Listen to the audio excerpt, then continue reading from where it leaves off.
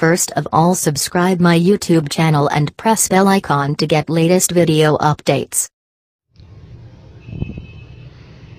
Hello friends welcome to my YouTube channel दोस्तों, आज की इस वीडियो में हम टीवी का पिन कशन डिस्टोर्शन का फॉल्ट जो है उसको रिपेयर करेंगे जी हाँ आप स्क्रीन पर देख भी रहे हैं कि इस टीवी का जो डिस्प्ले है वो चारों कोनों में आप देखें कि यहाँ से इसका डिस्प्ले अंदर की तरफ़ जो है वो सुकड़ता हुआ हमें नज़र आ रहा है या श्रिंक होता हुआ हमें नज़र आ रहा है। तो ये क्यों होता है, किस वजह से होता है और कौन सा फॉल्ट होता है, ये सारी बातें आज की इस वीडियो में हम आपको बताएँगे। तो कोशिश करें कि वीडियो को एंड तक देखें ताकि सारी मालूम जो इन्फॉर्मेशन मैं आपको देना चाहता हूँ, वो आप तक पहुँच सके और आपको अच्छी बातों का आपके नॉलेज में इजाफ़ा हो सके। तो चलिए शुरू कर लेते हैं। सबसे पहले हमने इसका ड्राइवर बोर्ड जो है, उसको बाहर निकाला हुआ है ऑलरेडी अब इसका फॉल्ट जो है फॉल्ट ट्रेस करने के लिए सबसे पहले जहन में ये होना ज़रूरी है कि कौन सा सेक्शन इन्वॉल्व है इस फॉल्ट के अंदर। तो इसका जो फॉल्ट है पिनकशन का तो उसमें जो इसका सेक्शन या इसका सर्किट इन्वॉल्व होता है, वो ये वाला होता है। ये वाला हिस्सा हॉरिजेंटल विथ को कंट्रोल करता है।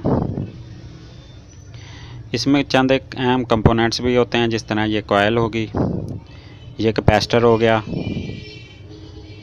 चार या सात का ये कैपेसिटर होता है नॉन पोलर कैपेसिटर यहाँ पर लगा हुआ होता है। इस कोयल में से वोल्टेज जो है वो गुज़र कर जो कि हॉरिजेंटल सर्किट में से आते हैं, इस रजिस्टर में से गुज़रते हैं। यहाँ पर एक वन वाट का, एक या दो ओम का यहाँ पर रजिस्टर लगा हुआ होता है। यहाँ से वोल्टेज गुज़र कर इस ड्राइव ट्रांजिस्टर में आते हैं, जो कि पावर फ्राहम करता है इस सर्किट को। उसके बाद ये दो वेरिएबल्स देख रहे हैं, ये आपको मैनुअली जो है सेटिंग करने का एक एबिलिटी देते हैं, एक फ़ंक्शन देते हैं। ये ट्रांजिस्टर भी इसी सर्किट का हिस्सा है, छोटे ट्रांजिस्टर जो लगे हुए हैं। तो ये चंद एक कंपोनेंट्स हैं जो कि इस सर्किट में इस्तेमाल किए गए हैं, जो कि पिनकशन को सेट करने के लिए और टीवी की चौड़ाई को या विथ को कम या ज़्यादा करने के लिए इस्तेमाल होते हैं। तो ये कंपोनेंट्स मैंने ऊपर से आपको समझाए। अब मैं इसकी जो नीचे वाली साइड है सर्किट की उस तरफ़ से भी आपको समझाने की कोशिश करता हूँ। तो यहाँ से वोल्टेज कोयल में से गुज़रे, कैपेसिटर में जमा हुए और रजिस्टर जो मैंने आपको बताई थी वन वाट की उसमें से गुज़रे और फिर इस ट्रांजिस्टर जो ड्राइव ट्रांजिस्टर है, इसके सेंटर वाले टर्मिनल पर और यहीं से जो है जो दो छोटे ट्रांजिस्टर्स हैं और वेरिएबल्स वगैरह हैं, उसके सर्किट में से सर्किट में पहुँचते हैं। तो वेरिएबल जो है, वो सेटिंग के लिए मैनुअली हम उनको सेट कर सकते हैं और ये वाली जो पिन है सेंटर वाली, यहाँ पर 15 से 20 वोल्ट जो है वो जमा हो जाते हैं। उस सूरत में जमा होते हैं जब डिस्प्ले की चौड़ाई जो है वो कम हो। नॉर्मल से जो उसकी फिट स्क्रीन है, उसके मुकाबले में कम हो तो यहाँ पर 15 से 20 वोल्ट आपको मिलेंगे। अगर यहाँ पर आपको ज़ीरो वोल्टेज मिल रहे हैं तो समझें कि ट्रांजिस्टर शार्ट है, या फिर ये रजिस्टर ख़राब है, जिसमें से वोल्टेज गुज़र ही नहीं पा रहे और ट्रांजिस्टर तक पहुँच ही नहीं पा रहे। लेकिन अगर ये रजिस्टर ख़राब होगा तो उस सूरत में डिस्प्ले की चौड़ाई जो है वो अपनी मिनिमम लेवल पे आ जाएगी, यानी कि कम हो जाएगी। ठीक है, ये रजिस्टर का फॉल्ट हो गया। इसके अलावा ट्रांजिस्टर अगर शार्ट होगा तो चौड़ाई जो है वो मैक्सिमम विथ पे चली जाएगी, यानी कि ज़्यादा ही, हद से ज़्यादा ही तस्वीर चौड़ी हो जाएगी। तो ये चंद एक फ़ॉल्ट हैं सर्किट के रिलेटेड लेकिन इस सर्किट में चूँकि पिनकशन का फॉल्ट आया तो इसमें ये जो दो वेरिएबल लगे हुए हैं, इनमें से एक वेरिएबल जो होता है वो स्पेशली पिनकशन सेट करने के लिए होता है। तो यहाँ पर इसके दोनों वेरिएबल्स बिल्कुल भी काम नहीं कर रहे, ना ही इसकी विथ को कम ज़्यादा कर रहे हैं, ना ही पिनकशन को सेट कर रहे हैं। तो इस टीवी में फॉल्ट इन वेरिएबल्स का निकला है। तो मैं अभी इन वेरिएबल्स को ही तब्दील करूँगा। लेकिन इन वेरिएबल्स को तब्दील करने के लिए भी चंद एक बातें जहन में रखना ज़रूरी हैं। अब वो क्या बातें हैं, वो मैं आपको अभी बताता हूँ।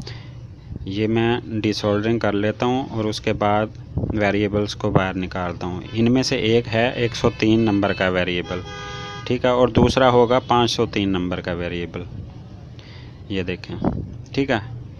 अब आपने ख्याल ये रखना है कि जब ये वेरिएबल ख़राब हों तो पुराने शुराने से काम नहीं चलाना।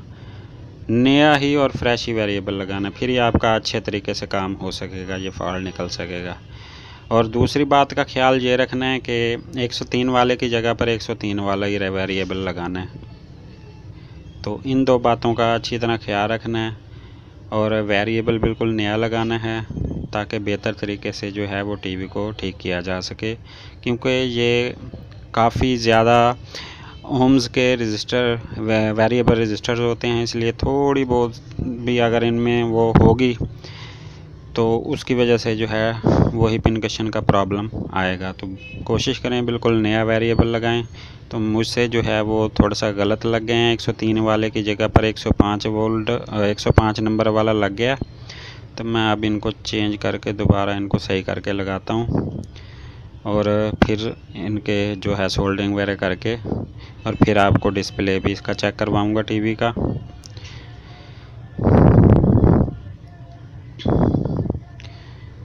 तो चंद एक ज़रूरी बातें थी जो इस फॉल्ट के रिलेटेड मैंने आपको बताई। अब मैंने इसकी सोल्डरिंग कर ली है तो अब मैं टीवी को ऑन करता हूँ और इसका डिस्प्ले देखते हैं। तो ये देखें इसका डिस्प्ले अब जो कोनों से श्रिंक कर रहा था, अब बिल्कुल ठीक हो गया। अब इसका मेन्यू मैं ओपन करके आपको दिखाता हूँ। ये देखें आप इसके नंबर्स वगैरह जो डिस्प्ले के नंबर्स हैं, वो बिल्कुल सीधे आ रहे हैं।